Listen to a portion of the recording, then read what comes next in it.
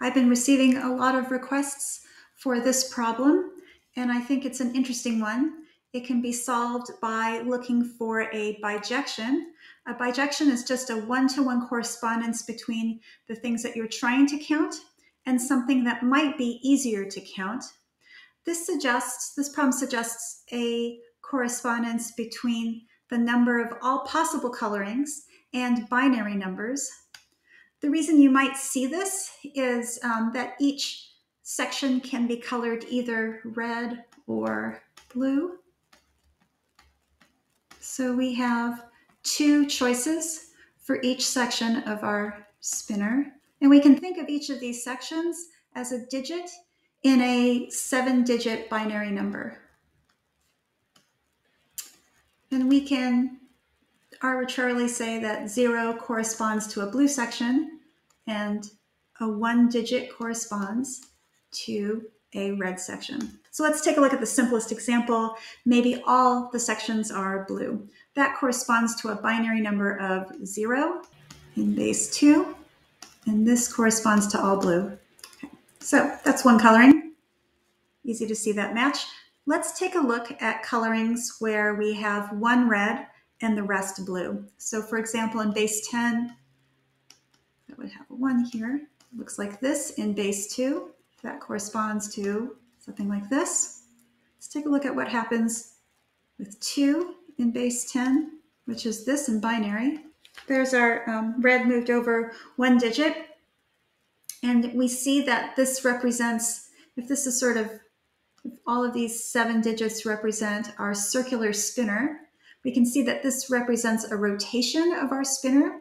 So the one red is in a different place, but it's an equivalent coloring according to what we want from the problem. And this repeats itself until the red is in uh, the um, leftmost digit. So that would correspond to, say, 64 in base 10. One is here, and the rest of the digits are zero. We see that there are um, seven binary numbers that correspond to one valid coloring. That is a coloring that's the same um, without any rotation. So no rotations allowed. Let's just take a look at a second example before we generalize. Let's have um, two reds adjacent to each other. So we'll count the number of ways that we can have two reds adjacent to each other.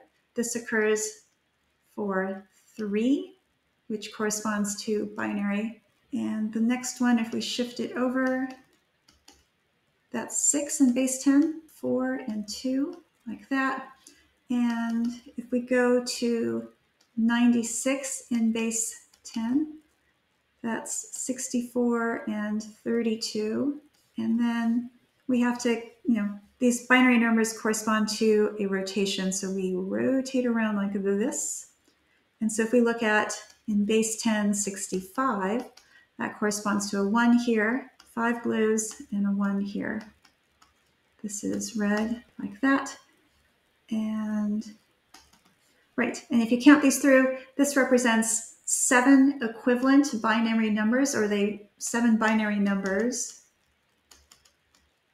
that are equivalent to one valid coloring because we don't allow rotations. And we can see that for every, um, every possible coloring corresponds to seven different binary numbers. So what I, except for, except for the, the blue section is when they're all blue and when they're all red. So what I'd like to do is take the number of binary numbers from zero to um, the largest seven digit binary number.